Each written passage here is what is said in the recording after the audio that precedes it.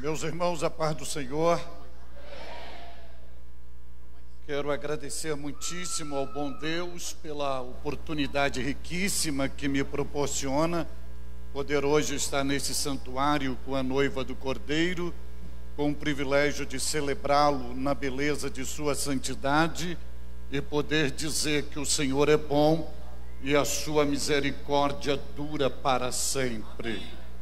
Oxalá, se não fora o Senhor em nosso favor, nós já estaríamos totalmente destruídos ou consumidos pelos nossos inimigos.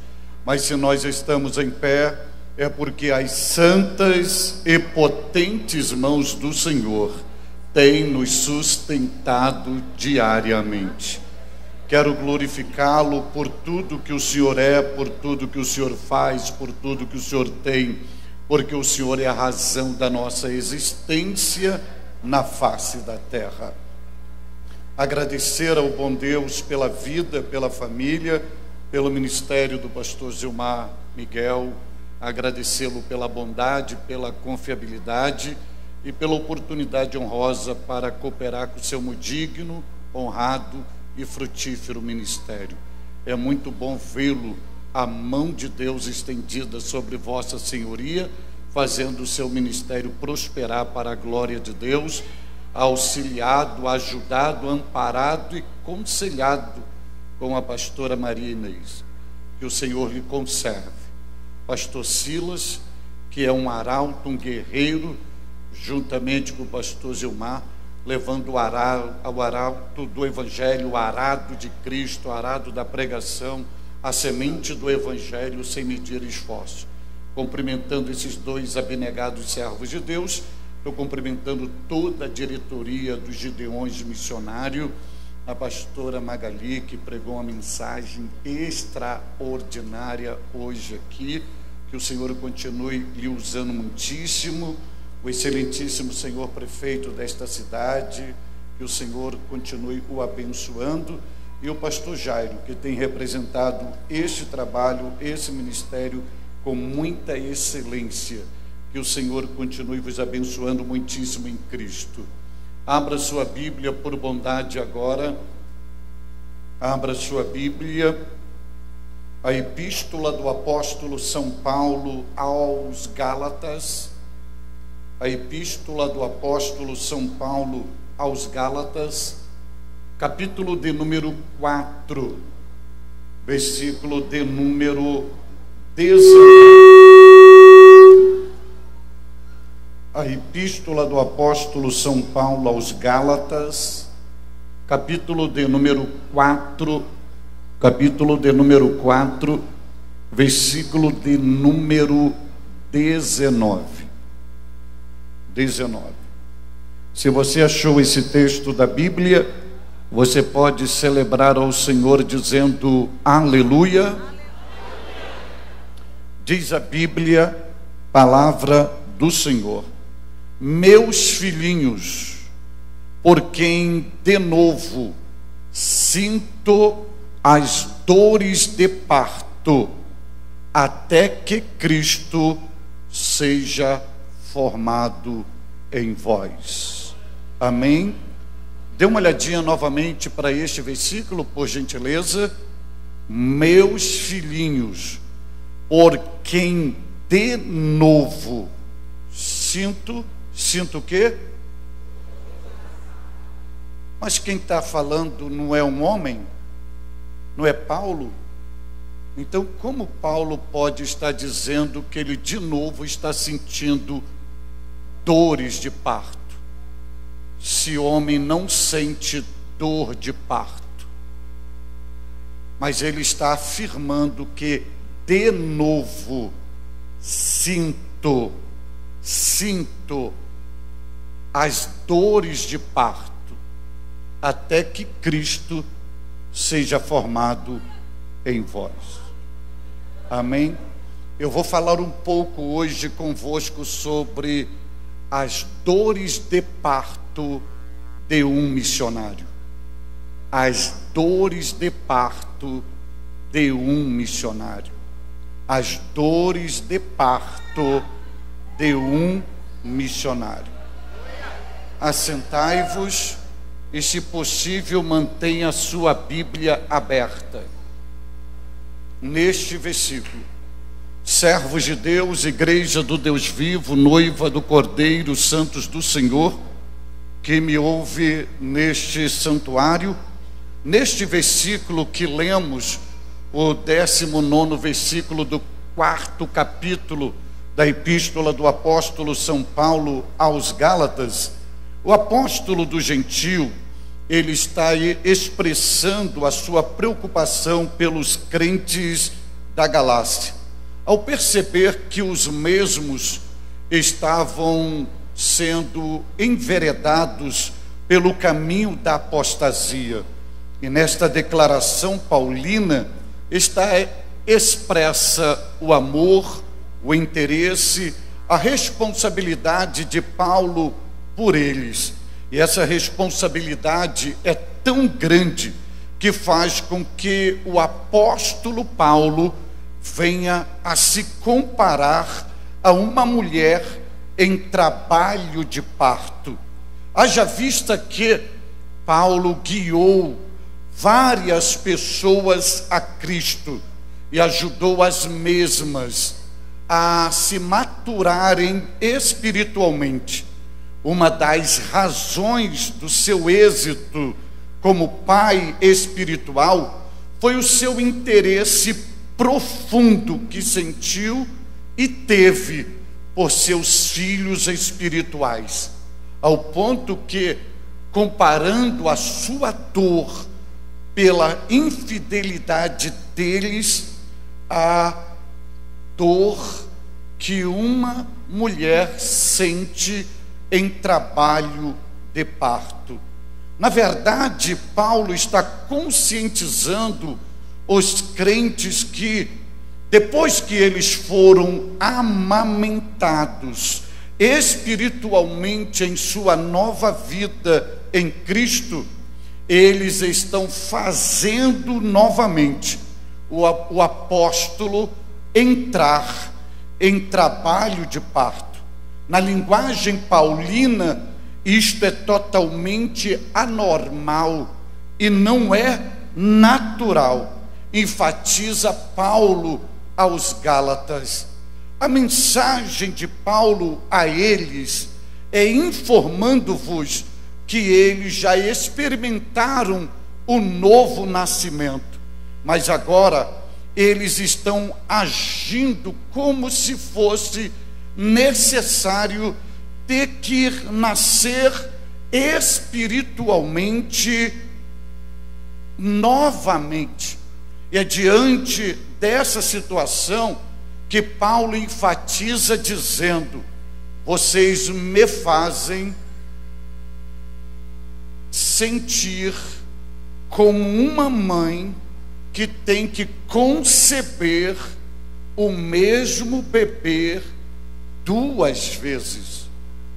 No entanto, por mais anormal e trágica que seja a condição que este povo da Galácia está proporcionando a Paulo, Paulo afirma categoricamente: eu não irei abandoná-los, até que Cristo seja formado em vós. Observe que quando você ler este versículo, como você leu comigo, no início do versículo, Paulo chama os crentes de meus filhinhos. Meus filhinhos. É uma expressão que denota afeto, familiaridade, cuidado, apreço e amor. Mas no meio do versículo, Paulo usa uma expressão, de novo. Isto significa dizer que não é a primeira vez que Paulo está sentindo em seu corpo as dores de parto. É mais uma vez. Elas estão se repetindo ao ponto do apóstolo afirmar de novo. Isto mostra que Paulo está mais uma vez em agonia devido à sua paternidade espiritual. Além disto, vale salientar aos senhores e senhoras que Paulo, no meio do versículo, ele diz assim: de novo, eu sinto, o verbo sentir está na primeira pessoa do singular. Ele disse: Eu sinto as dores de parto. As dores de parto, na originalidade neotestamentária, expressa a ideia de angústia, aflição, dor. Ela resume o anseio do apóstolo Paulo em desejar a salvação dos Gálatas, porque eles se alienaram da fé e acabaram caindo da graça. Por fim, no final deste versículo, Paulo vai dar a objetividade porque que ele está sentindo as dores de parto. E ele diz assim: a grande razão, até que Cristo seja formado em vós. O verbo formar, utilizado por Paulo na sua originalidade neotestamentária, carrega a ideia de formar como uma forma essencial, ao invés de uma forma exterior.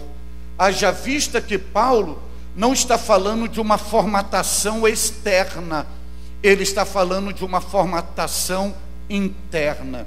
E quando ele diz até que Cristo seja formado em vós, ele está trabalhando uma ideia da essência, da personalidade, da natureza, do caráter do Cristo, está todo incluso no crente até que este crente torna-se uma semelhança com Cristo, em Cristo, ao ponto desse crente reproduzir o próprio Cristo na face da terra através da sua própria vida.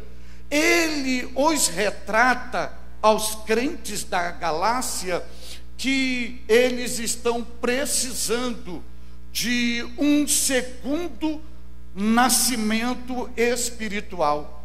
E ao ponto que Paulo se descreve, se apresenta como uma mãe solícita que está sofrendo de novo as dores de parto até que Cristo seja formado neles. Isto significa dizer que Paulo, independente de qualquer coisa, ele estava sempre disposto a passar, a viver, a experimentar todo tipo de sofrimento, tendo um único propósito. Que propósito é este? Que a essência que a natureza, que o caráter do Cristo fosse totalmente formatado no cristão. Ele compara este ato de sofrer, esta experiência pessoal, baseada em todo sofrimento, para que não perca este crente mas que ele tenha o caráter de Cristo e viva a plenitude da bênção da salvação, com a garantia da vida eterna, Paulo está dizendo: estou disposto a passar por todo esse sofrimento, ao ponto dele ter uma metodologia comparativa a uma mulher em trabalho de parto, num processo agonizante, e ele se compara a esta parturiente, dizendo: Sinto todas essas dores, até ver Cristo em vocês. as dores de parto que Paulo afirma que sentia, e volto salientar que, ao ponto de se comparar a uma mulher em trabalho de parto, na originalidade bíblica, expressa a ideia de dor, trabalho árduo, mágoas, aflições, tortura, angústia profunda.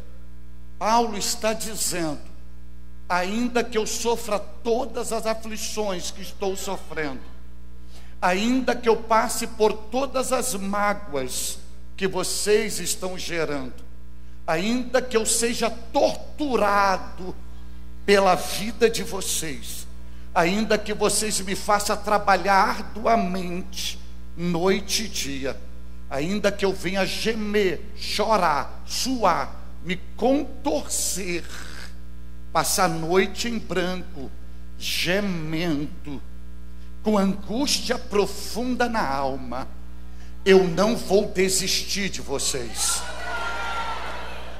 porque eu só vou sossegar quando ver vocês em Cristo e Cristo em vocês. Quando eu perceber que a semelhança, a natureza, a vida do Cristo está infundida em vocês.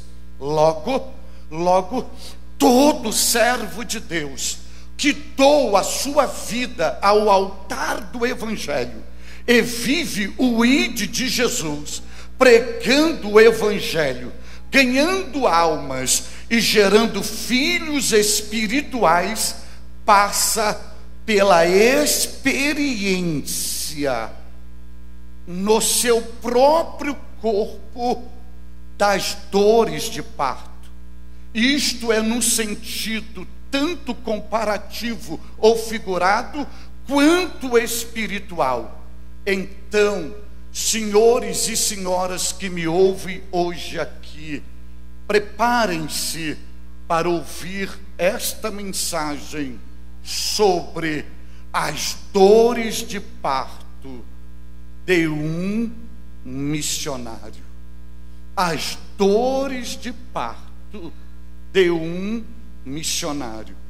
Quando você olha para a declaração paulina, sinto as dores de parto, você vê o pronome pessoal oculto, como se ele estivesse dizendo: Eu sinto as dores de parto. Quando você olha para quem está dizendo isto, não é uma pessoa comum. Quem está afirmando que sofre de dores de parto é o maior apóstolo da história da igreja. Quem está afirmando que sente as dores de parto na história do cristianismo é a segunda pessoa maior depois de Jesus Cristo. Quem está afirmando que está sentindo as dores de parto é a pessoa que não teve mais a sua vida como preciosa e doou a mesma para que fosse gasta na obra de Deus por meio da pregação do Evangelho. Quem está dizendo que está sentindo dores de parto é o homem das revelações do terceiro céu. Quem está afirmando que teve, está tendo as dores de parto, é o homem que teve a revelação da doutrina da ceia do Senhor.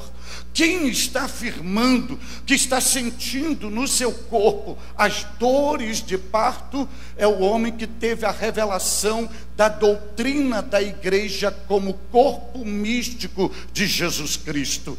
Quem está dizendo que está sentindo dores de parto foi o homem que teve as revelações do desvendamento dos mistérios, dos acontecimentos do tempo do fim, via ressurreição dos mortos em Cristo e o arrebatamento da igreja por meio do toque da última trombeta. É o maior apóstolo, o maior arauto. E se nós estamos aqui hoje nesse congresso missionário, à luz da Bíblia, nós temos que agradecer pelo menos a duas pessoas. Em primeiro lugar, a Jesus Cristo, que morreu na cruz do Calvário em nosso favor Em segundo lugar, a Paulo, porque foi por meio de Paulo que a mensagem do Evangelho rompeu as fronteiras, foi chegar na Europa e da Europa às outras nações, e hoje nós estamos aqui porque Paulo foi este arauto, é este homem que está agora dizendo: Eu sinto de novo as dores de parto. Então, o que, que eu aprendo aqui? Eu aprendo que o autêntico missionário, ele passa pela experiência das dores de parto. Haja vista que dores de parto na linguagem paulina é sinônimo de dor, é sinônimo de aflição, é sinônimo de agonia, é sinônimo de mágoa, é sinônimo de tortura e o autêntico missionário. Eu estou falando de autêntico missionário. Eu não estou falando de ventureiro. Eu não estou falando de viajante. Eu estou falando de autêntico missionário. Aquele que se doa, aquele que faz da sua própria vida uma oferta ao altar do evangelho. O autêntico missionário, ele passa pela experiência das dores de parto. Ele sabe o que é um gemido nas caladas da noite. Ele sabe o que é uma agonia na sua alma. Ele sabe as lágrimas que rolam quando ele quer controlá-las e não consegue.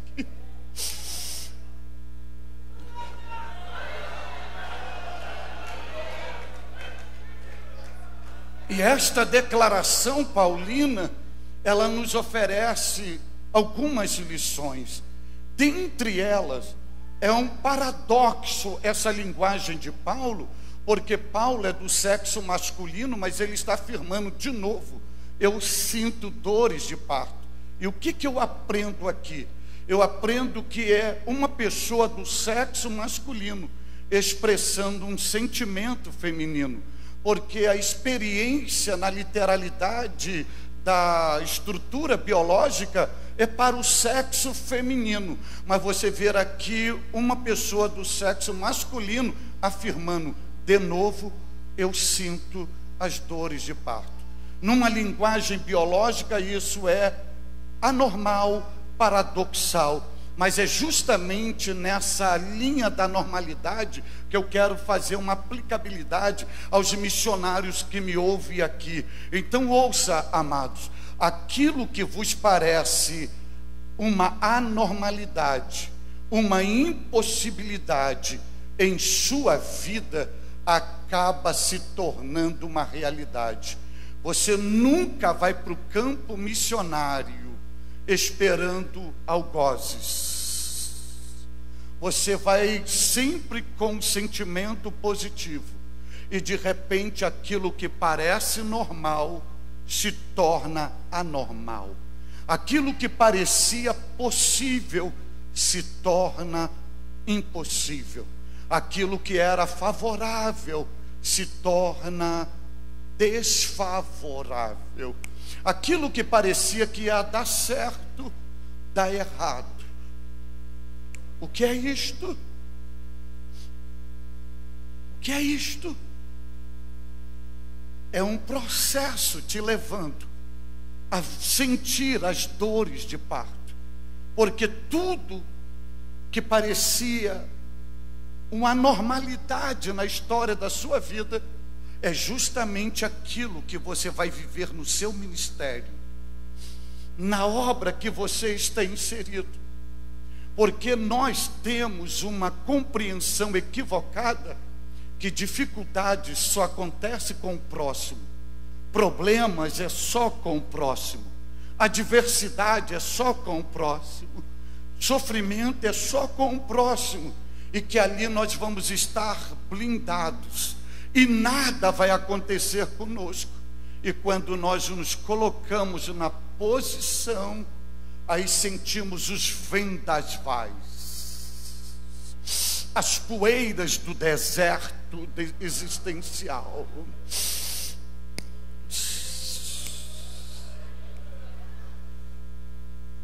E aí que sinaliza o início das dores de parto. Mas a gente precisa compreender uma verdade: que todo aquele que serve piamente a Cristo, já afirmou Paulo, padecerá perseguição.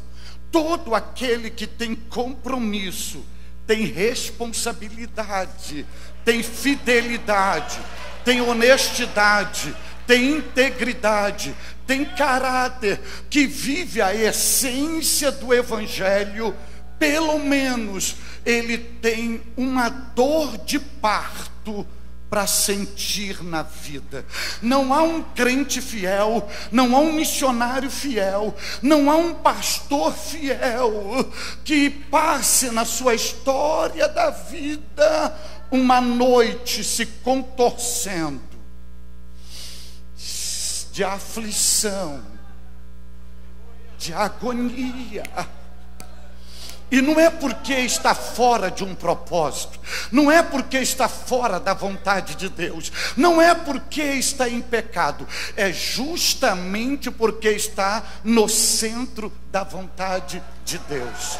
Porque se uma mulher não sentir dor de parto, se ela ter a história dela toda sem sentir uma dor de parto, significa que ela nunca se engravidou e nunca foi apta para gerar um filho. E aquelas dores de parto que o missionário sente, que um crente sente, que um pastor sente, significa que Deus já gerou algo dentro dele e ele está grávido para gerar algo de Deus na obra missionária.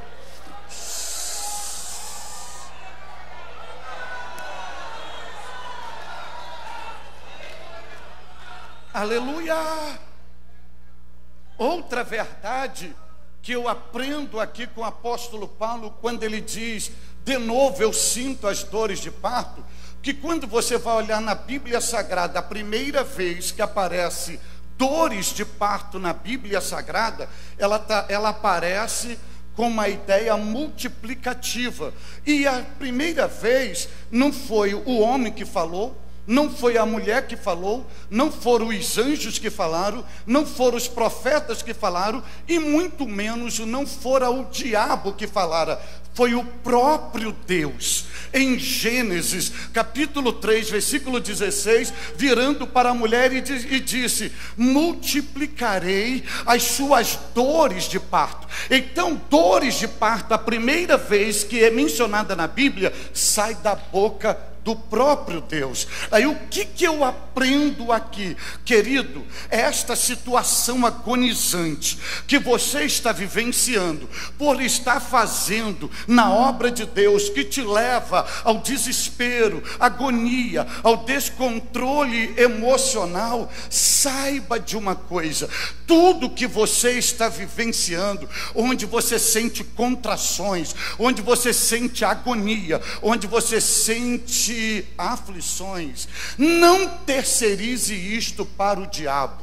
Esta dor de parto que você está sentindo, não tem obra do diabo nisto. Por quê? Por quê? Porque o diabo não te chamou para você fazer o que você está fazendo. Segundo, o teu chamado não está debaixo de uma palavra diabólica. O teu chamado está debaixo de uma palavra que saiu da boca de Deus.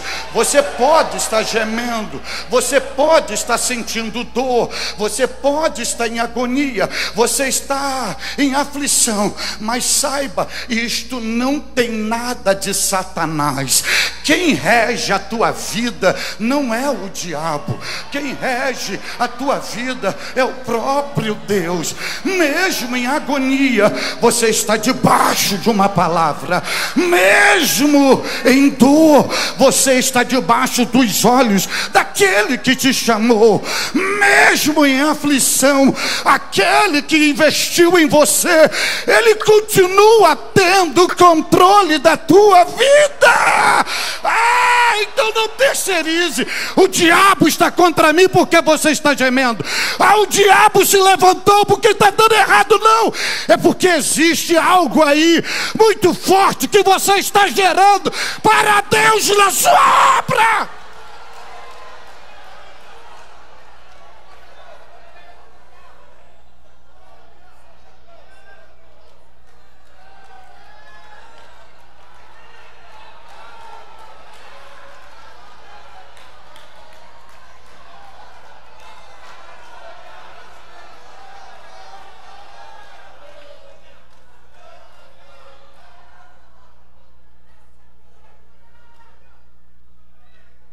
Outro detalhe que eu aprendo nessa linguagem paulina, quando ele diz assim: de novo eu sinto as dores de parto. E deixa eu só ah, lembrar aos senhores gramaticalmente: Paulo não diz assim, de novo sinto dor de parto.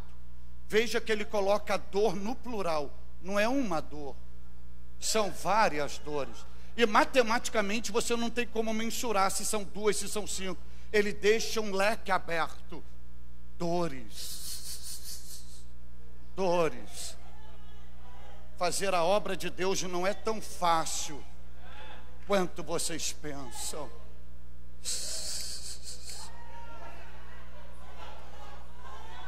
Só que ele diz assim: por que, que eu estou sentindo essas dores? Qual é a razão dela?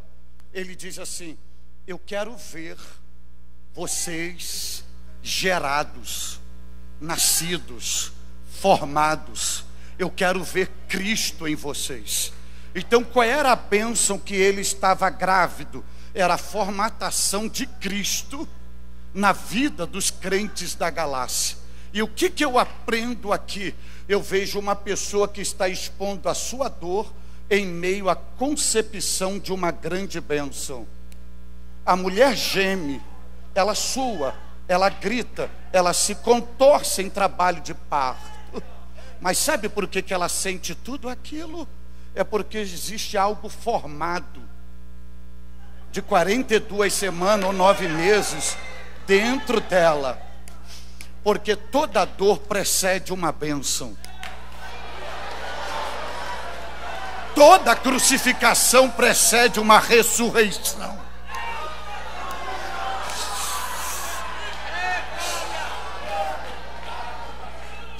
Aí Deus te trouxe hoje aqui para lhe dizer: há momentos na vida que a bênção que estamos gerando, esse filho que estamos ganhando para Deus, parece mais maldição do que bênção, porque muitas mulheres em trabalho de parto acham que vão morrer e não aguentam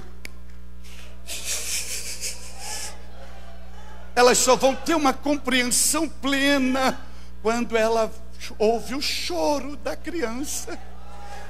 Quando nasce, e parece que você está na obra, gerando, ganhando, frutificando, e o vendaval, as lutas, as batalhas, sofrimento, problema, diagnóstico médico contra você. Aí parece, será que Deus me chamou? Será que eu estou na vontade de Deus? Será que eu estou fazendo? Porque tudo está ao contrário. É porque ali você entende que tudo que era bênção está se tornando maldição, mas isso é um equívoco, é porque está preste está preste, está preste a nascer algo, a nascer algo da sua vida. E deixa eu lhe dizer, há uma falsa sensação que no meio desta dor, no meio desta agonia, imagine ah, as mulheres que entraram em trabalho de parto zero hora e a madrugada toda, e a criança não nasce achando que vai morrer, perdendo fôlego, suor para lá, é sangramento, bolsa rompendo, e falando: cadê Deus? Cadê o marido? Cadê fulano? E ninguém pode socorrer, achando que está abandonada, desamparada e que não vai sair. Quantas vezes o um missionário nós estamos assim: cadê Deus? Onde está Deus? Eu estou sozinho, ninguém me ajuda, ninguém estende a mão, ninguém me acode, não chega recurso. Não, você não vai morrer, você não está abandonado, é porque você está num processo e você só tem uma percepção, mas você não vive de percepção, você não vive de sensação, você não vive de sentimento, você não vive de emoção, você vive é de fé, é de fé, é de fé, é de fé, é de fé que você vive, acreditando. Ai, Jesus.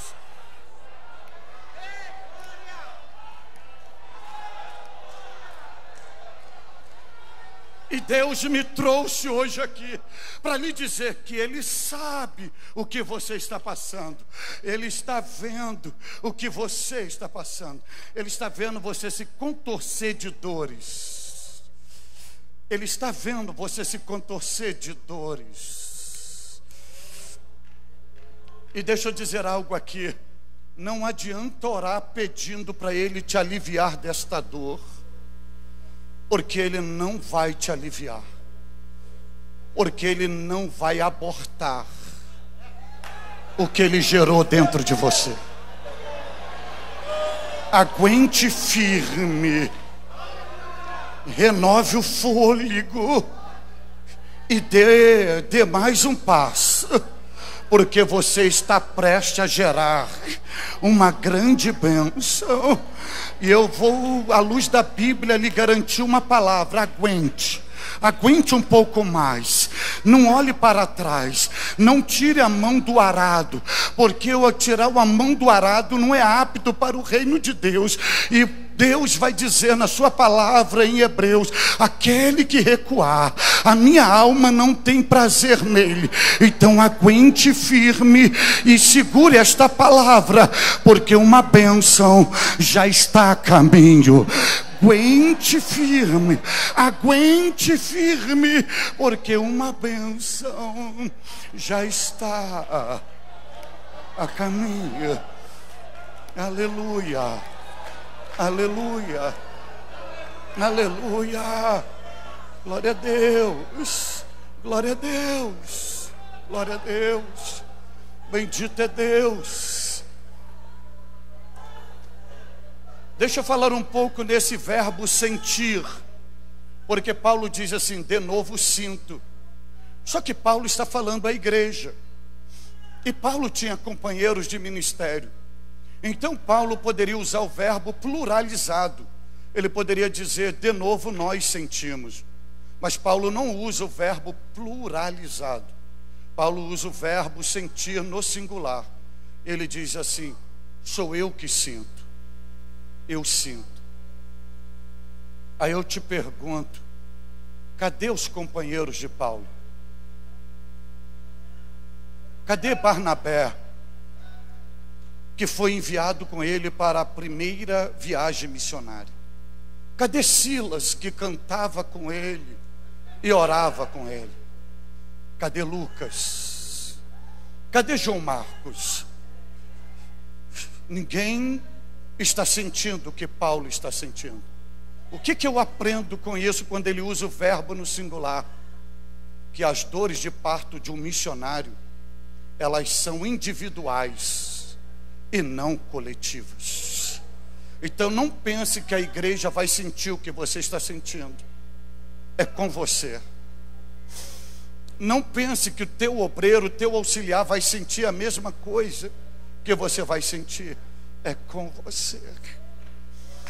Porque as dores não são coletivas, elas são individuais. Vai ter momento no seu ministério que você vai olhar para o lado, vai ver pessoas sorrindo enquanto você está chorando por dentro. Você vai ver pessoas fazendo festa e você com um sentimento de luto instalado dentro de você. Sabe por quê? Aí você questiona: por que, que ele não está? Será que ele não está compartilhando? Será que ele não está sensível a mim? Não, é com você. O chamado é teu, o investimento em você.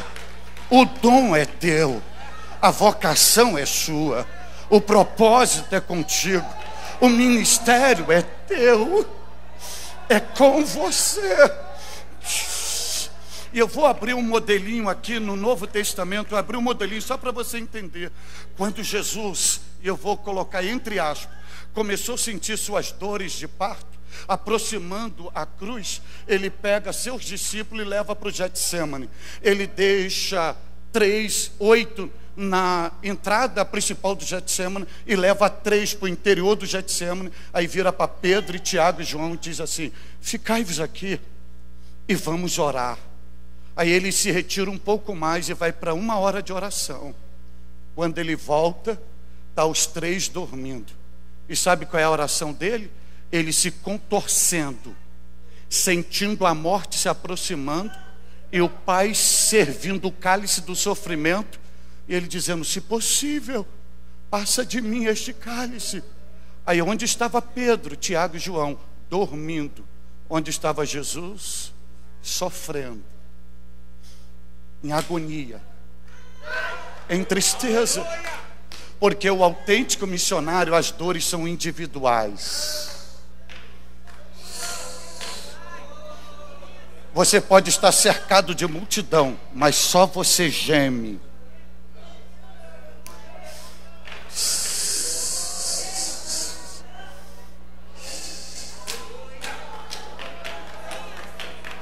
Aí você me diz, por que, que Deus permite isto? Eu vou à luz da Bíblia te dizer por que, que Deus te diz isto. Porque Deus ele usa a dor como uma metodologia pedagógica para nos revelar quem são os nossos verdadeiros amigos.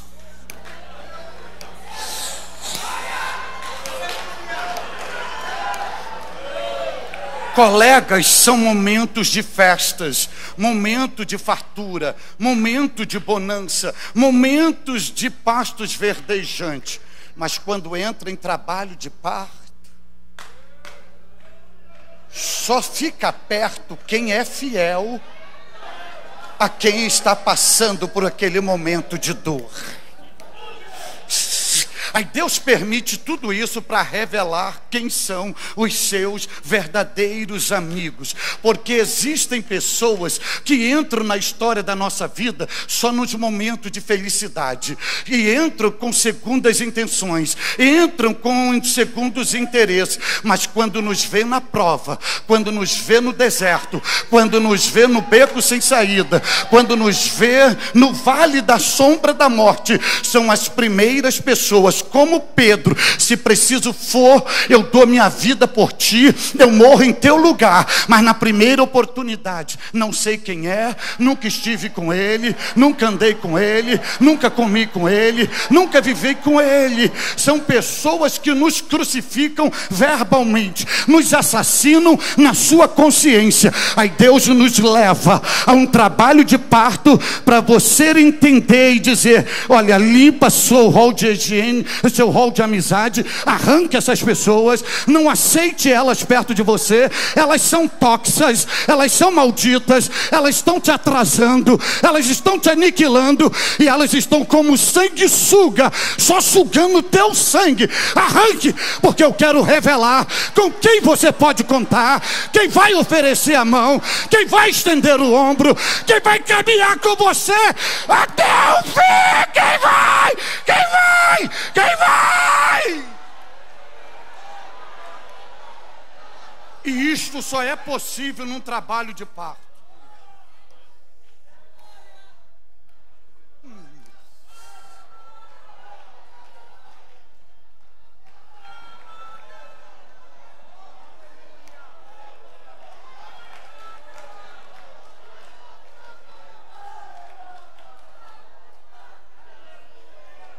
Pastor Gilmar, cuidado com os tapinhas nas costas e os beijos no rosto.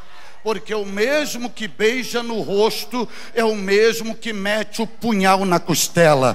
Cuidado, cuidado, que Deus nos dê graça e através da operacionalidade do bendito Espírito Santo, haja uma limpeza no rol da nossa amizade, no nosso ministério, e esses abutres, esses urubus, esses sanguessugas, esses filhos do diabo sejam arrancados.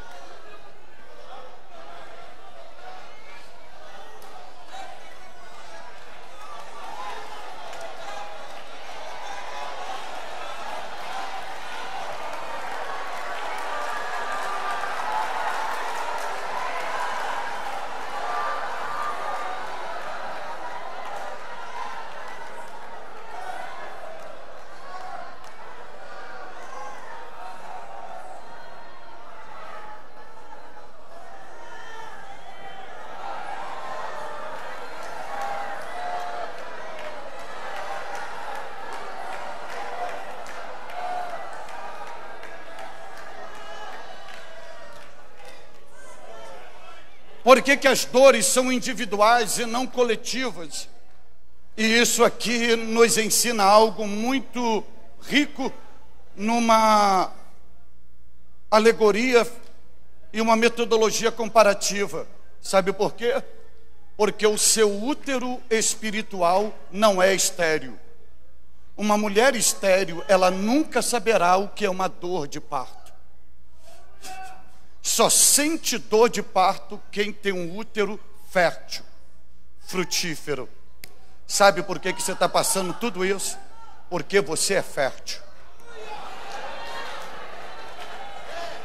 Sabe aquele lugar que ninguém queria ir, que dizia: ali é um cemitério de pastor, e você foi e mudou a história, e não tinha nada de cemitério é porque o problema era a semente da frutificação que estava dentro de você. E você mudou a história daquele lugar porque você é um útero fértil. Sabe aquela congregação que o pessoal aqui não dá nada, aqui é uma pedra, aqui não produz água. Aí você foi para lá por voluntário, colocou a pedra, o pé em cima da pedra e a pedra começou a brotar água. Qual é o segredo? Não estava no lugar, está em você, porque você é um útero fértil. E Deus está lhe dizendo que esta agonia, esta aflição, essa perseguição, essa calúnia, essa traição que você está sofrendo é porque você foi escolhido por Deus para ser uma agência geradora de filhos espirituais na face da terra, porque aonde você chega, você gera filhos, aonde você está, você gera filhos, você é uma manjedora biológica para gerar filhos, você é um útero espiritual que Deus colocou dentro de você para gerar filhos, e então por isso que você passa por tudo isso, querem acabar com você, o problema não é em você, o problema é teu útero, porque tudo que bate no teu útero nasce, nasce, nasce, nasce, nasce, nasce, nasce, nasce, nasce, frutifica. Ai, ai. E outra coisa, deixa eu lhe dizer aqui.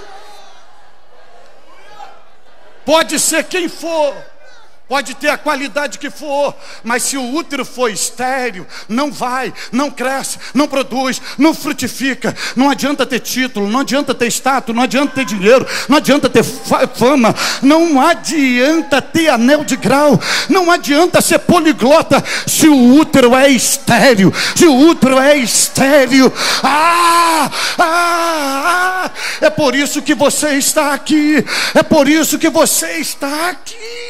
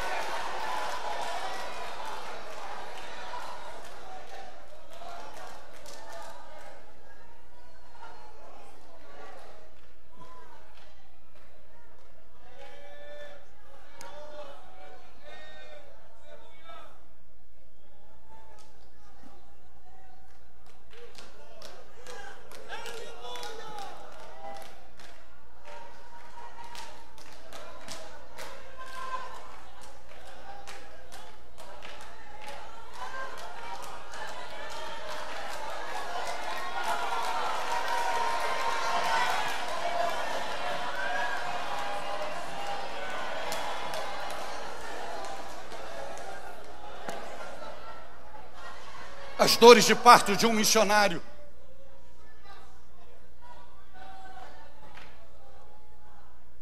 Então deixa eu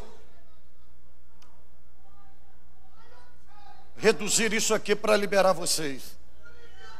Quais são as atitudes de um missionário na hora das dores de parto? Quais atitudes desse missionário na hora das dores de parto? Então, deixa eu lhe dizer algo aqui, usando uma metodologia comparativa.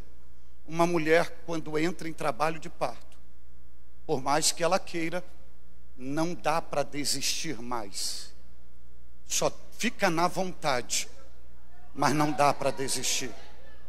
Também não dá para descer do, da mesa do trabalho de parto. Se entrou em trabalho de parto, vai ter que ir até o fim.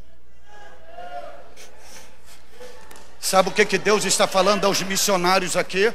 Você pode até pensar em desistir, mas não dá mais para desistir.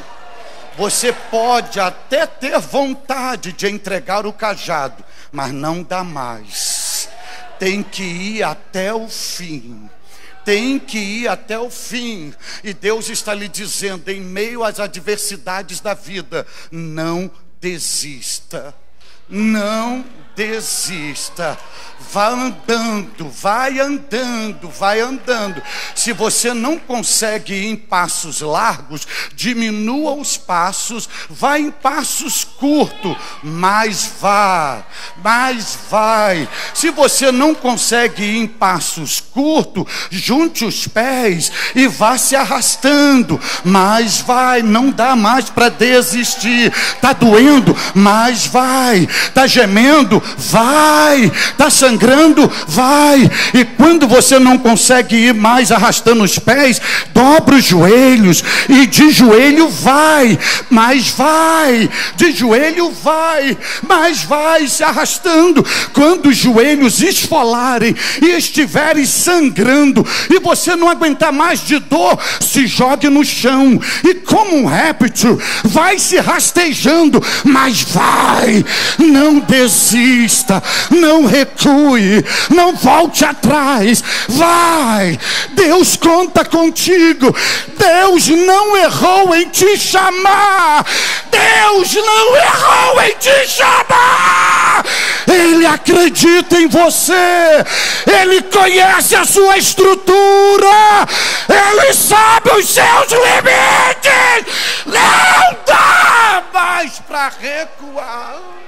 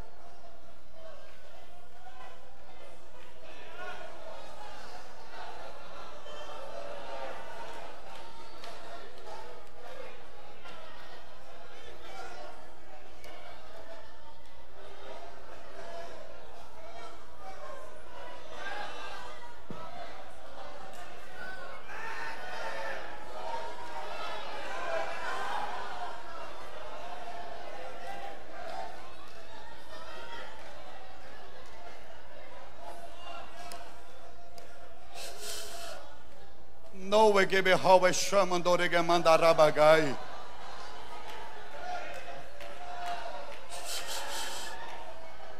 E deixa eu dizer outra atitude de um missionário em dores de parto, comparando a uma mulher em trabalho de parto.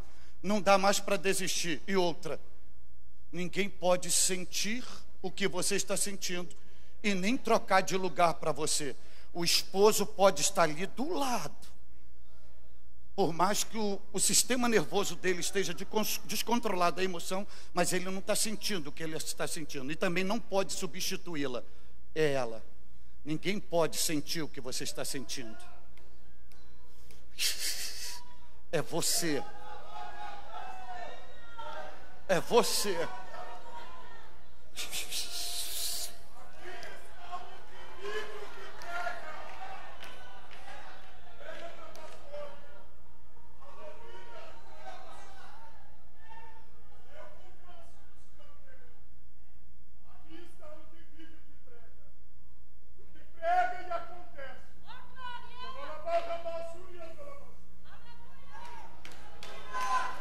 Outro detalhe: por mais que a mulher esteja em agonia e a criança já pediu passagem, está alojada, a mulher não tem autonomia, é incapaz de tirar. E se entrou em trabalho de parto normal, tem que ser normal. Ela tem que esperar o tempo certo para dar à luz. Cuidado para você não queimar etapa. Sair fora do tempo. Não tome atitudes precipitadas. Não conceba nada no reino de Deus prematuramente. e também não tenha filho de forma de, por meio de cesariana. É mais rápido. Deixa sair natural. Normal.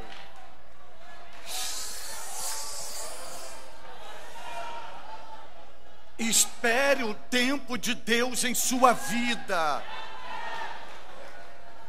Ah.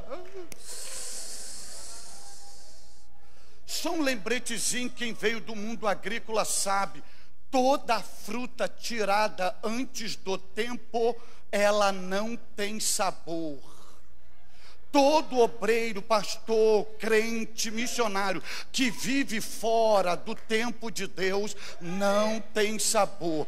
Tem aparência? Tem, mas não tem sabor. Prega, prega, mas não tem sabor.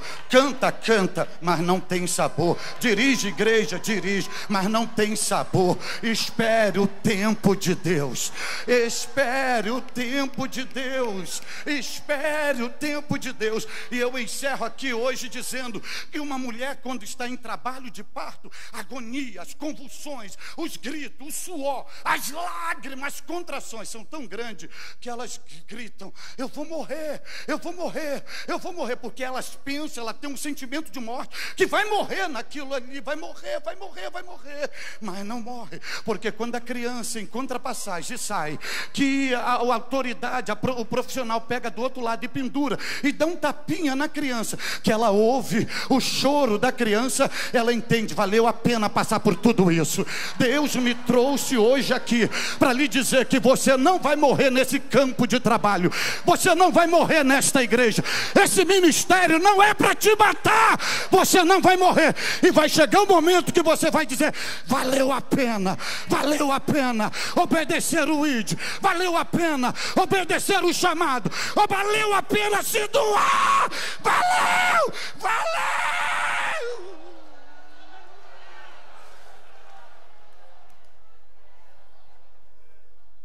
São exatamente agora Faz exatamente agora uma hora que eu estou ministrando a vocês. E eu vou ser ético. E eu vou encerrar aqui agora. Eu estou uma hora liberando Bíblia para vocês. Sem mandar vocês levantarem a mão. Sem mandar vocês dar glória a Deus. Sem mandar vocês olhar para o lado. Sem mandar vocês fazer nenhum tipo, nenhum tipo de manipulação humana. Só liberando a palavra de Deus. Agora, olhe para mim aqui agora. Olhe para mim aqui agora. Olhe para mim aqui.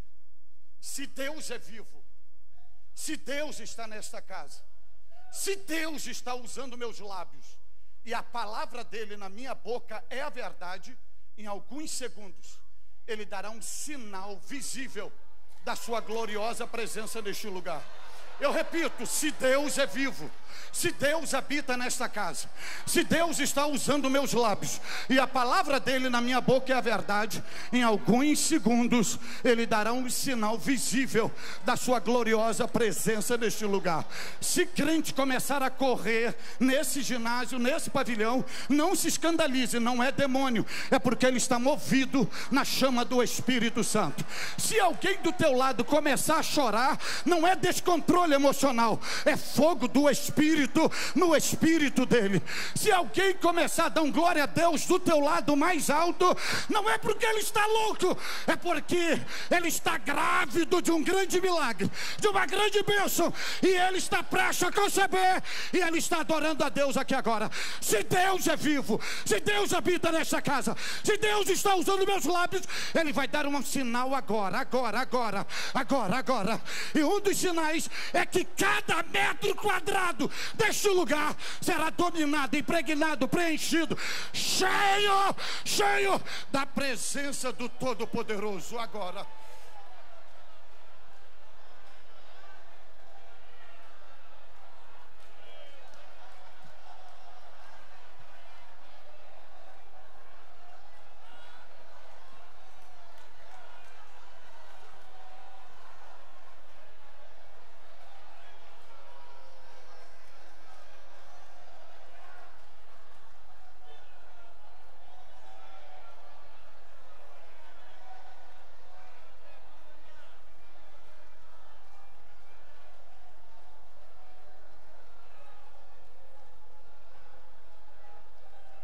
Shomanda boge hamanda robega hamanda bagai.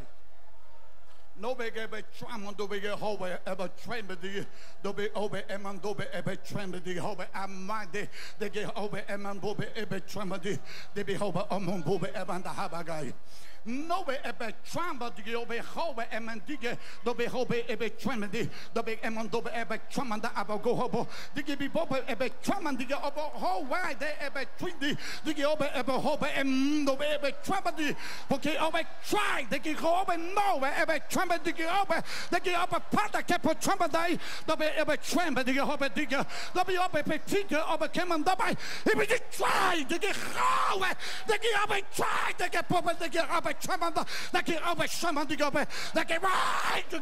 chamando, vai, chamando, aí, porque o céu dos céus estão abertos sobre nós hoje neste lugar.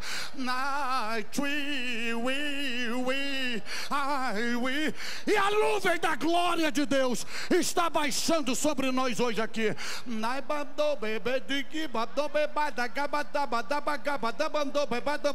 No be high. No be be tree. No be be ebe try. No be ebe bibi ebi chubi di bibi obo bo bo bo bo bo ababa haba de ge be bo bo bo be be ba ba di. Na ba ba ki bi we chumin di ge ebe druidi. Abo ho ebe chama di obe ba abagai. Tu que vieste a este lugar disseste: Fale comigo. E hoje eu vim para atender o teu pedido. Night we, we know I do mandou aí e vi e vejo como está o teu coração.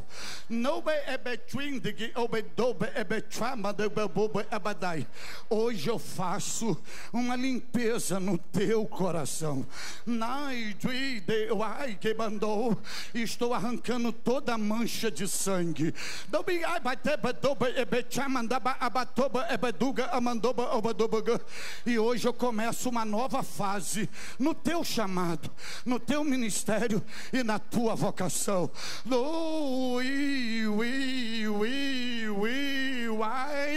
E se você quer uma prova que eu falo contigo hoje, eu vou liberar um pouco do peso da minha glória para que você venha sentir no teu espírito esta presença que você não sente há muito tempo. Ai, e veja como o peso da minha glória te envolve agora. Receba a minha palavra. Ai,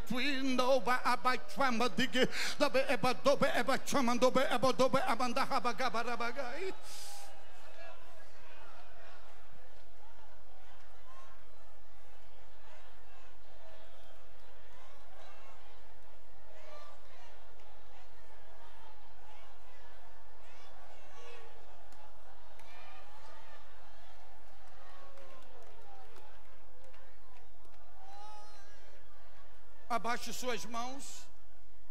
Por gentileza, abaixe suas mãos. Eu quero me dirigir hoje a duas classes de pessoas. A primeira classe de pessoas é você não evangélico. Você que chegou a este lugar totalmente ferido, magoado, arrebentado, fragmentado pelos algozes da vida você não suporta mais de tanta, de tanta opressão, como os vendavais da vida destruíram tudo em você. Ninguém mais acredita em você. nem você mesmo. Você se sente um defunto ambulante enxergando seu futuro numa sepultura. Mas Deus criou essa circunstância para lhe trazer aqui para te dizer, filho, filha, eu te amo do jeito que você é e eu sou capaz de mudar a sua história, de virar o seu cativeiro, porque eu tenho uma qualidade de vida para você. Eu tenho uma vida por excelência, que eu chamo de vida e vida com abundância. A segunda classe de pessoas que eu quero me dirigir é você que já provou o dom celestial, que já sentiu tudo que nós estamos sentindo, mas por uma falta de vigilância, você tropeçou e hoje você é um soldado ferido. Você foi embora sem se despedir da, com os irmãos da fé e sem dizer para onde estava indo. E hoje você tem vergonha de dizer que é filho e filha de Deus. Mas saiba de uma coisa: Deus não tem vergonha de assumir a paternidade dele sobre você. E hoje ele te diz: meu filho, minha filha filha, eu te amo, eu sou o teu pai, eu não tenho vergonha de você. Volte para o lugar que você nunca deveria ter saído. Eu sinto falta de você, eu sinto saudades de você, eu sinto saudades da sua voz, do seu calor, da sua presença, do seu louvor. Então, vinde a mim, deixa eu te pegar nos meus braços, te carregar no meu colo e botar a sua cabeça colada no meu peito, para você ouvir as batidas do meu coração, sinalizando que eu te amo. E hoje eu te faço um pedido, filho, filha, dai-me o teu coração. Filho, filha, deixa-me eu cuidar de você. E eu estou lhe pedindo, porque eu não posso te obrigar, porque eu te dei livre arbítrio e eu respeito sua decisão e a sua escolha. Mas eu te peço, Deixa-me eu cuidar de você. Deixa eu te cobrir com meu amor, com a minha misericórdia, com a minha compaixão. Você não precisa de pedradas e nem de julgamento, filho e filha. Você precisa de amor. Então, hoje eu vim aqui para lhe dizer que o meu coração está totalmente livre, exclusivamente para você.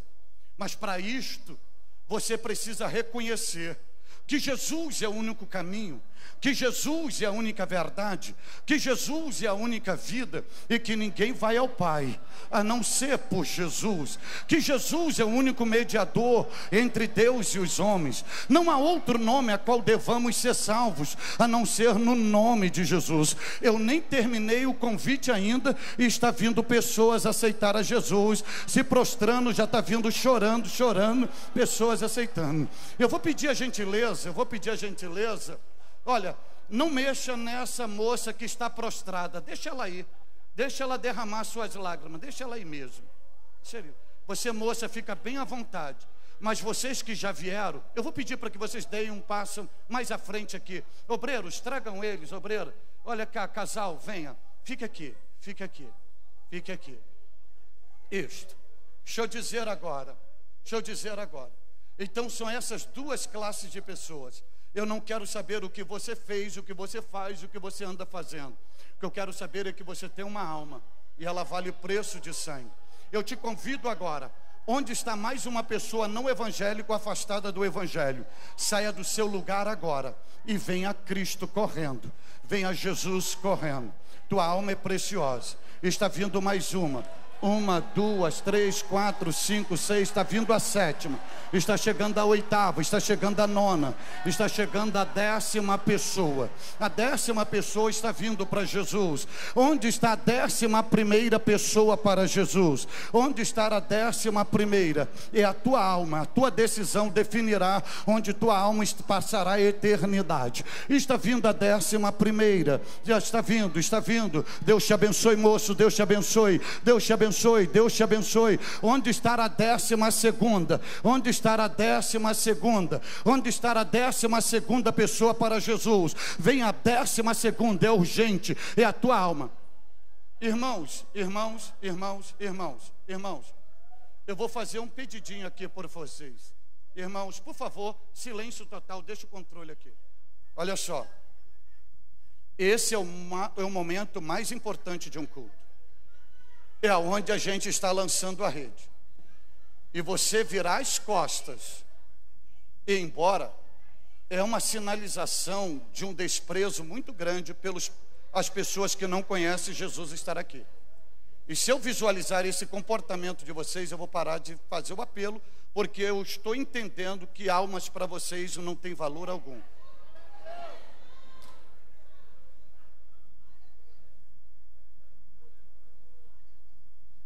Ainda estamos dentro do horário previsto, pela legislação e pela Constituição brasileira. Onde está. Para agora um pouquinho aqui. Para, para, para, para. Para a gente ser bem prático. Toda a legião de demônios que está acorrentando essas pessoas, impedindo-a as mesmas de aceitar a Jesus como Salvador, na autoridade do nome de Jesus. Eu te digo assim: demônios, o Senhor te repreenda o Senhor te repreenda. O Senhor te repreenda. Deixe essas pessoas em paz. Pegue tudo quanto é teu e vá embora agora. Legiões de demônios, em nome de Jesus. Sai, sai, sai. Abaixa as mãos pode vir a partir de agora a décima segunda pessoa, porque você acabou de ser livre pelo Senhor Jesus. Onde está agora a décima segunda pessoa? Pode vir correndo, correndo, urgente. Saia do seu lugar agora, agora.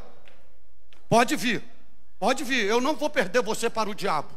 Ainda que você queira ir para casa convivendo com ele, eu não aceito perder você para Satanás. Onde está uma pessoa não evangélica afastada do evangelho? Venha Cristo agora. Onde está a décima segunda pessoa para Jesus? Vai abrindo os corredores, vão abrindo os corredores, vão abrindo os corredores. Ok? Está vindo a décima segunda pessoa.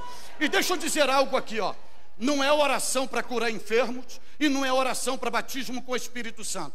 Todo o convite que eu estou fazendo aqui é para pessoas que queiram decidir por Cristo, oferecer a sua vida a Jesus, porque o congresso é missionário e missões têm que gerar filhos espirituais. Onde está a décima terceira pessoa para Jesus? A décima terceira pessoa para Jesus. Eu estou te esperando agora. Fiquem tranquilos, eu sei o que eu estou ministrando e sei o que está acontecendo aqui. Onde está a décima terceira pessoa para o Senhor Jesus? Eu estou te esperando. Venha Cristo agora. Venha Cristo agora. A décima terceira pessoa. Venha Jesus. Agora. Agora. A décima terceira. Você é afastado do Evangelho. Não dá mais para cochear entre dois pensamentos Pode vir a décima terceira pessoa para Jesus. Ok? Pode vir. Fique tranquilos, porque vai vir. Eu estou aguardando você. Eu não aceito te perder para Satanás. Venha Cristo agora. A décima terceira pessoa para Jesus. Décima terceira pessoa. Experimente Jesus. Se Jesus não prestar, me devolva ele, mas experimente Jesus. Eu estou aguardando a décima terceira. Venha Cristo agora. Venha Cristo. Ou você vai querer que eu saia daqui para te pegar aonde você está. Venha agora. É urgente. É urgente. É a tua alma que está em jogo. É você que está em perigo. Está vindo a décima terceira. Deus te abençoe. Décima terceira.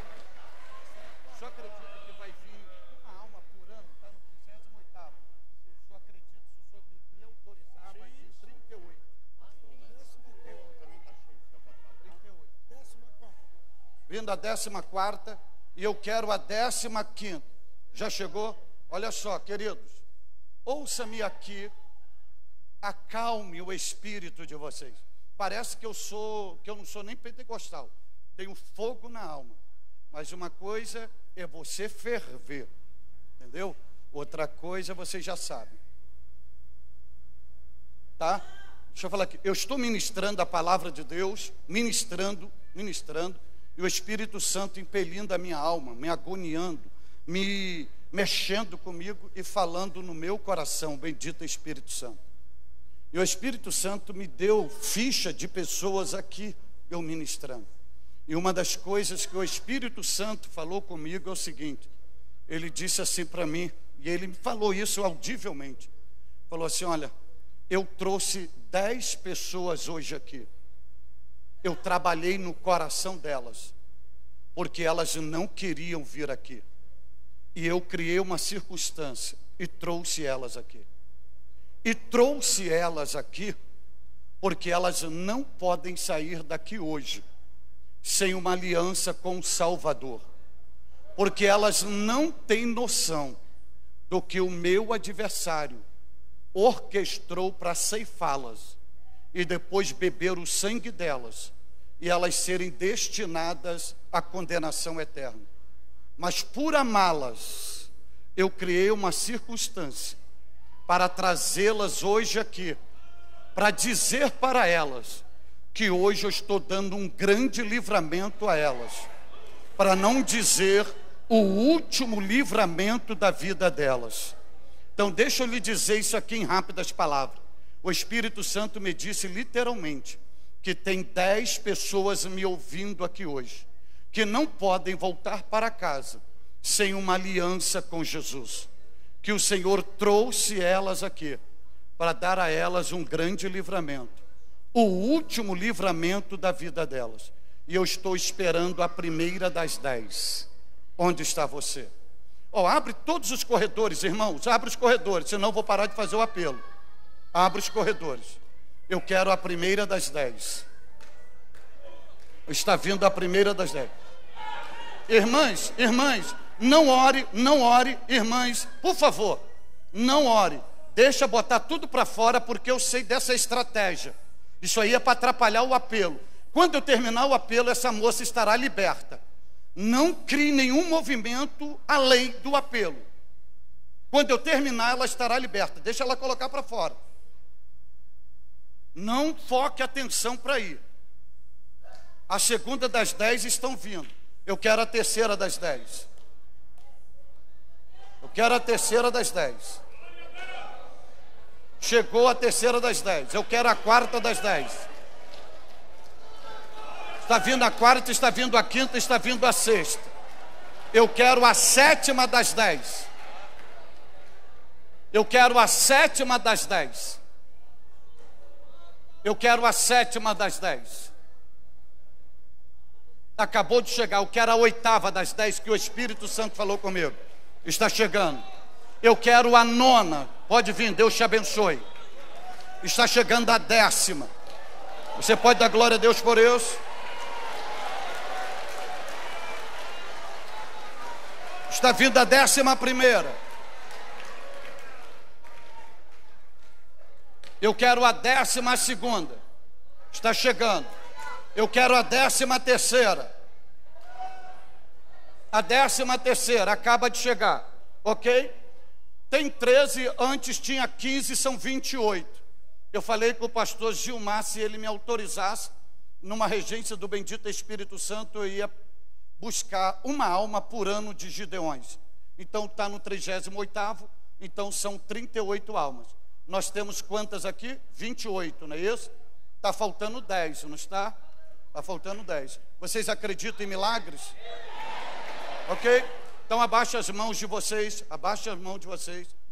Eu vou falar com o meu amigo agora. E eu vou pedir ao meu amigo para trazer as dez almas que estão faltando para encerrar o número de Gideões. Eu vou pedir para o meu amigo trazer. Agora eu vou pedir também, vou, vamos fazer, vamos fazer uma aliança aqui. Se o meu amigo atender o meu pedido e ele trazer as dez pessoas na décima pessoa, fechando 38 pessoas, conforme 38 aniversário dos Gideões, vocês me prometem que vocês vão dar glória a Deus até os pulmões de vocês racharem? Vocês prometem? Então, enquanto meu amigo estiver trabalhando, vocês não façam nada, só observem. Vocês só vão reagir quando o meu amigo terminar todo o serviço. Está combinado? Está combinado? Ok, ok. A única coisa que eu vou pedir para vocês é levante uma das suas mãos. Isso. Eu vou falar com meu amigo agora. Meu amigo, meu companheiro, bendito Espírito Santo, meu companheiro divino, tu que andas diariamente comigo, eu te faço um pedido agora, para louvor e glória de Jesus Cristo. Tem dez pessoas aqui, destinadas à perdição eterna. E eu te rogo, bendito Espírito Santo, não deixe essas pessoas saírem daqui sem uma aliança com Jesus. Eu te peço, Espírito Santo, quebrante o coração dessas pessoas. Mostre para elas a obra de Jesus no Calvário em favor delas. E por amor a Jesus, Espírito Santo, convence essas dez pessoas do pecado, da justiça e do juízo. E para a glória de Jesus, Espírito Santo, derrama o amor de Jesus no coração dela. Espírito Santo, eu te peço agora para teu louvor e para o louvor do Pai e do Filho. Espírito Santo, pega na mão delas, traga elas a Jesus, Espírito Santo. Eu não posso fazer isto, isso não cabe a mim. Essa é uma missão peculiar sua, meu amigo. Então, meu amigo, para louvor de Jesus, não deixe essas pessoas se perderem, continuarem no jugo de Satanás. Espírito Santo, traga elas a Jesus. Eu te peço, por amor ao nome de Jesus. Abaixe suas mãos. Você, não evangélico e afastado do evangelho. Vocês dez, o Espírito Santo estão trabalha, está trabalhando no coração de vocês. E a partir de agora, vocês só vão para o inferno se vocês quiserem. Porque o Espírito Santo está sussurrando. Vinde a Jesus, Vamos comigo. Ele está pegando nas suas mãos agora. Então ouça a voz do Espírito Santo e venha com ele. Onde está a primeira das dez? Está vindo a primeira das dez. Onde está a segunda que o Espírito Santo está trabalhando no seu coração? Onde está a segunda? Onde está a segunda? Está vindo com a mão levantada aqui à minha esquerda. Vai abrindo os corredores. Vai abrindo. Onde está a terceira que o Espírito Santo trabalhou no seu coração e ele está te convidando agora? Está vindo a segunda, está faltando a terceira. Onde está agora? Onde está a terceira pessoa? E ele está sinalizando no âmago da tua alma: você não pode sair daqui sem Jesus. Você não foi criado para o inferno. Onde está a terceira pessoa? Está vindo a terceira pessoa. Só está faltando sete e ele está trabalhando no coração das sete. Onde está a quarta pessoa que o Espírito Santo está quebrando o jugo, está desfazendo o laço? Ele está dizendo assim para você: você é especial. E ele está dizendo: vinde às águas, vinde à salvação onde está a quarta pessoa e o Espírito Santo está trabalhando em você. Você que está no telão lá no templo, pode sair daí e vem aqui que eu estou esperando você. Onde está a quarta pessoa que o Espírito Santo está trabalhando no teu coração? Está vindo a quarta pessoa. Está vindo a quarta pessoa. Onde está a quinta pessoa? Onde está a quinta pessoa que o Espírito Santo está trabalhando no seu coração agora e dizendo: o inferno não é para você. O inferno não é é o teu lugar. Você foi gerado para ser mais do que vencedor. Você foi gerado para ser filho, filha de Deus. Então ouça, está vindo lá a sexta pessoa. Está vindo a sexta pessoa que o Espírito Santo está trabalhando. Onde está a sétima pessoa que o Espírito Santo está trabalhando agora? Onde está a sétima pessoa? É você mesmo. Não pense que é coisa da sua mente, não diga que é a voz do diabo. É o Espírito Santo dizendo: "Venha, eu cuido de você. Eu trago trato de você, eu me responsabilizo por você. Onde estar agora? É a, é a sétima que está faltando, é isso? Onde está a sétima? Está vindo agora, está chegando a oitava agora. Onde está a nona? Que o Espírito Santo, eu pedi ao meu amigo para te trazer, e ele está trabalhando. Eu sei, está faltando a nona, eu já contei ela. Falta a nona, não é isso? Está faltando a nona. Onde está a nona pessoa? Porque aqui não tem evangelástico, não. Porque tem pessoas que aceita 5 e diz foi 50, 50 ele diz 500. Então eu prefiro perder e no mínimo para Deus acrescer. Então vamos entender que falta a nona ainda. Então, cadê a nona que o Espírito Santo está trabalhando? A nona. Fique tranquilo, fique tranquilo. Olha, abaixa suas mãos. Eu disse para vocês não se movimentarem. Só se movimentar quando vir a 10. A nona pessoa. Olha só, eu vou medir, olha só. Meu amigo, esta nona, Satanás não vai ser fala. Então, dê um toque nela agora, meu amigo Espírito Santo. E traga ela. Agora. Eu te peço agora porque eu sei que tu estás aqui comigo. Então a nona pessoa, abre caminhos, a nona pessoa pode vir, pode vir. Se tem alguém afastado do evangelho aqui, eu não te aconselho voltar para casa sem uma aliança com Jesus. Se você está afastado, aonde está? Aonde? Aonde? A nona e a décima. 38 um por ano, uma pessoa por ano. Vocês me prometeram dar glória a Deus até os pulmões racharem.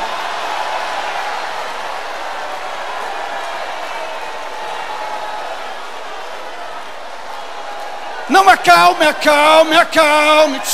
Irmãos, irmão, abaixa o fogo. Aba...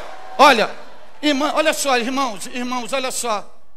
Por favor, todo tipo de manifestação, deixa deixa, quando eu terminar o apelo, tudo vai acabar. Porque eu sei dessas estratégias. Deixa essa irmã, deixa ela aí. Se quer cair, deixa cair. Deixa aí. Sentiu o chão frio. Deixa. Mas não atrapalhe o apelo. Sabe por quê? Temos 38, não temos? Só que o Deus da Bíblia é o Deus do dízimo. E, e o dízimo de 38 são quantos? 3,8. Então, como Deus não parte pessoas, são quatro. E o senhor acredita que Deus pode nos dar o dízimo aqui? Se Deus nos der o dízimo, aí sim eu vou deixar vocês extravasarem, ok? Ok? Ok? Ok? Então, pare um pouco, pare um pouco. Meu amigo Espírito Santo, tu sabes que o conselho do Deus Trino é amante do dízimo. E só faltam quatro pessoas para ser o dízimo desta noite. Como tu amas o dízimo, Espírito Santo, eu te peço que tu convença quatro pessoas e traga as quatro pessoas agora. Das quatro pessoas, eu vou dizer algo aqui que o Espírito Santo falou comigo. Duas delas, duas delas, se não vir andando com seus próprios pés, nem que seja se arrastando de joelho nesse ginásio virá, mas nós não perderemos elas para o diabo. Então, Espírito Santo derrame o amor de Deus no coração delas agora, quebrante esses corações e traga elas agora. Só tu pode trazê-las. Então, vem agora as quatro pessoas que são os dízimos de Deus hoje aqui. Está vindo o primeiro dízimo lá.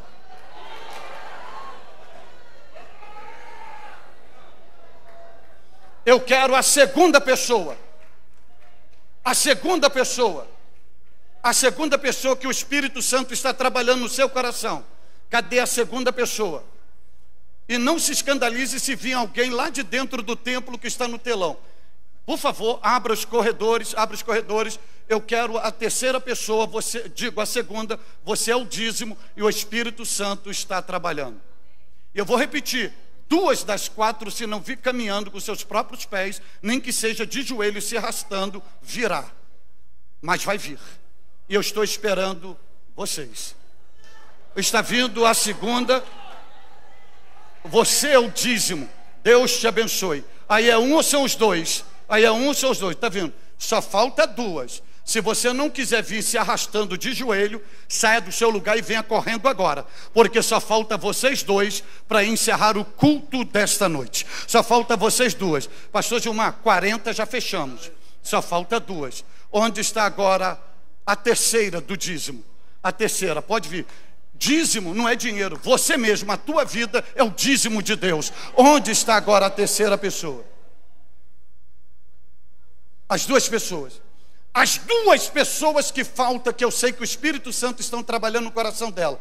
Ouça-me, É tão urgente a salvação de vocês que vocês têm apenas cinco segundos. Eu disse cinco segundos para definir o futuro da alma de vocês entre céu e inferno, Cristo ou diabo, luz ou treva, salvação ou condenação. Onde você quer que a tua alma vá passar a eternidade? A partir de agora, cinco segundos para você não receber a marca da besta. Onde está você? Venha Jesus, venha Jesus.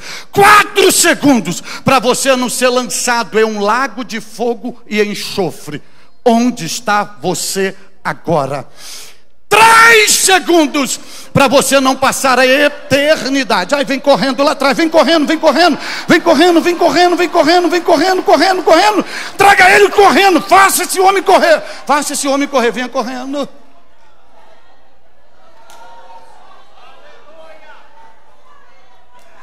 Deus te abençoe, moço. Quantas estão faltando para completar o dízimo de Deus hoje? Falta uma. E vocês me prometeram de dar, uh, de adorar até os pulmões racharem. Não prometeram?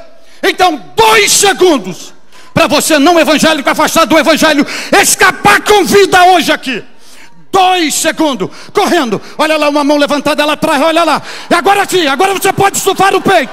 Agora você pode abrir essa boca e dar o brado de glória, glória, glória. Quem vai adorar pelo que Deus está fazendo hoje aqui? Adore, adore.